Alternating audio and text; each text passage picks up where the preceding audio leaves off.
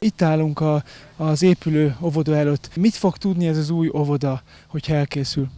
A hőtechnikai felújítást csináljuk az épületen.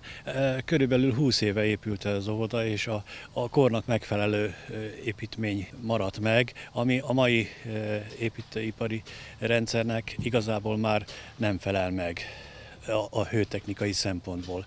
Ezért rárakunk 10 centis grafitos hőszigetelő lemezeket, és ez kap egy új vakolatot, a csatornákat felújítjuk, tehát egyéb felújítások készülnek az épületen. Egy ilyen kivitelezés mennyire időigényes? Körülbelül mikorra készülhet el teljesen? 30-40 nap ennek az óvodának a felújítási ideje, de sajnos a koronavírusra való tekintettel korábban tudtuk kezdeni, mert nem lett volna több időnk, mint 60 napunk lett volna rá, hogy ezt megcsináljuk, ezt a beruházást. De ez el is készült volna 60 nap alatt. Így most le kell rövidítenünk, azért, mert hogyha beindul az élet, nyilván az óvodások szeretnének visszajönni a helyükre.